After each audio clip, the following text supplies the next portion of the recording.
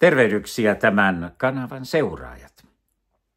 Kato, valtamedia taas on kunnostautunut tässä populismi-sanan käytössä. Nyt he uhkaisivat jo Mika Aaltolaakin tosiaan tällä populisti-leimalla. Ja nyt se tavallaan tuli siitä artikkelissa, jossa sitä käsiteltiin, niin selväksi, että tämä media tarkoittaa myöskin populismilla sitä, että arvostetaan, arvostellaan mediaa, asetetaan siinä jotakin negatiivista sen toiminnasta, niin silloin on populisti. On se aivan älytöntä. Eli toisin sanoen mediaa ei saisi arvostella, eikä sen eh, median niin kuin taustavoimia ja muuta.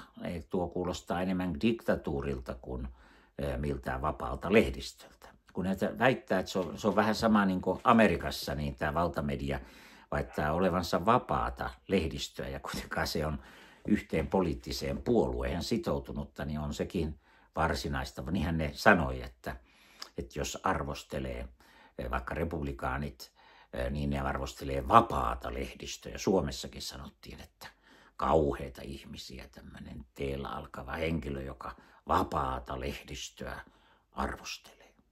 No nyt meillä on sitten Mika Aaltola, tämmöinen, joka uskaltanut arvostella vapaan lehdistön eh, tämmöisiä toimintamalleja, jotka ei tunnu niin kuin oikein olevan kovin vapaan lehdistön merkkiä.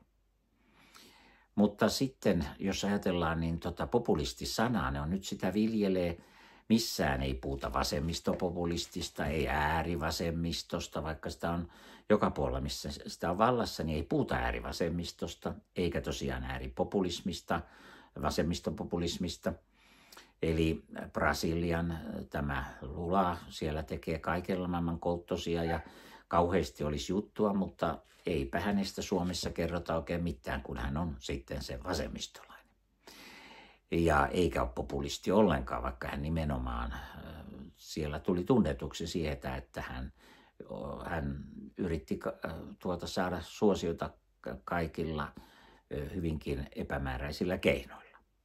Mutta nyt sitten on siellä Argentiinissa presidentinvaalit ja siellä on joku tällainen, joka ei ole niin kauhean tunnettu ollut, mutta joka on korruption vastainen ja tämmöinen. Se on kumma, että jos on korruption vastainen niin henkilö, niin no joo, silloin heti populisti, jos on oikeistolainen. Jos on oikeistolainen konservatiivi tai vaikka maltillinenkin, ja jos on korruption vastainen, niin silloin on populisti.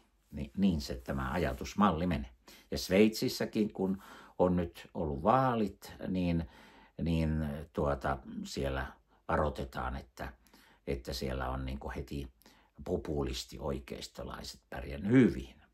Ja sitten, eh, eli tässä rakennetaan tämmöistä omaa maailmankuvaa, joka niin kuin on hyvin tämmöinen, sanotaanko, suppea. Eli heti kun oikeistolainen on heti äärioikeistolainen ja äärioikeistolainen populisti.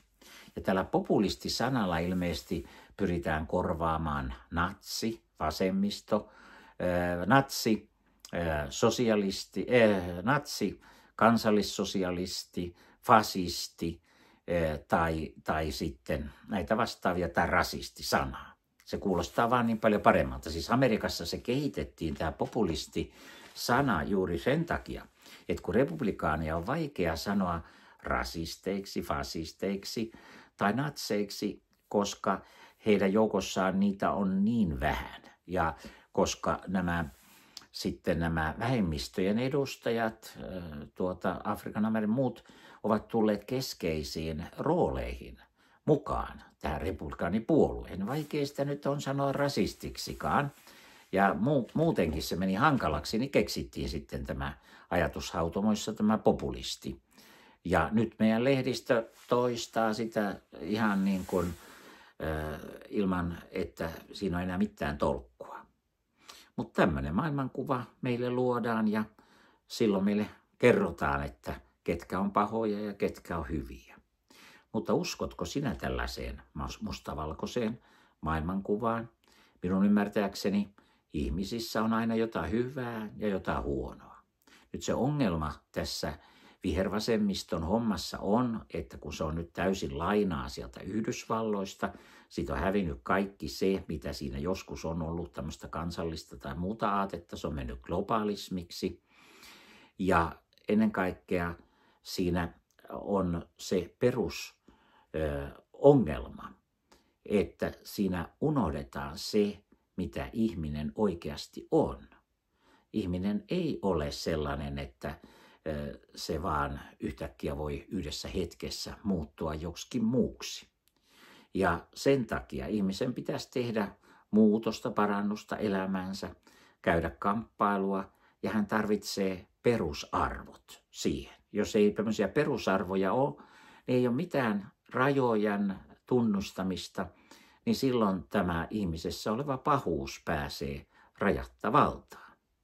Ja tämmöisestä, tämmöistä kohtia me ollaan menossa. Väkivalta lisääntyy, ihmiset ei välitä enää lapsista, mistään. Kaik, kaikkialla mukaan edistyksen nimissä tehdään mitä hullumpia asioita ja ihmiset voi vaan entistä huonommin, niin kuin Suomen nuoriso.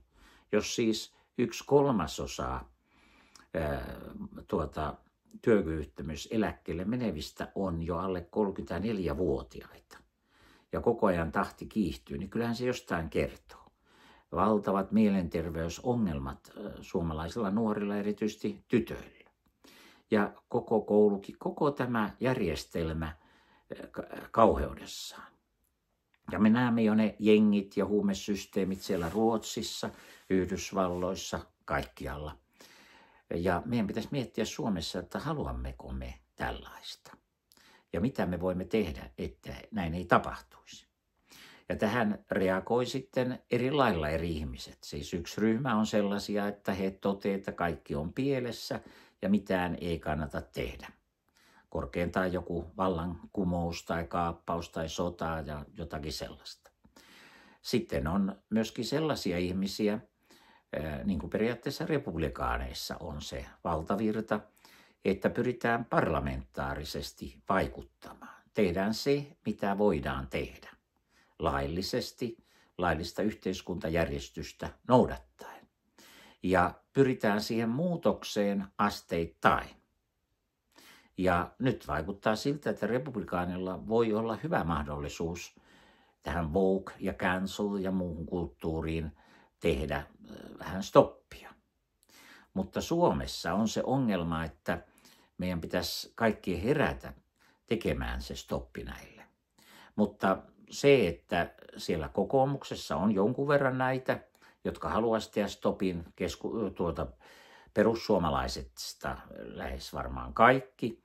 Ja sitten keskustassakin on tosiaan joitakin ihmisiä varmasti, ja niitä sieltä täältä löytyy sellaisia eri puolueissa yksittäisiä ihmisiä, jotka on ärsyntynyt kokonaan tämmöiselle Amerikasta tuodulla, tuodulle jutulle tästä woke- ja cancel-kulttuurista ja kaikki niistä lieveilmiöistä, mitä se tuo tullessaan.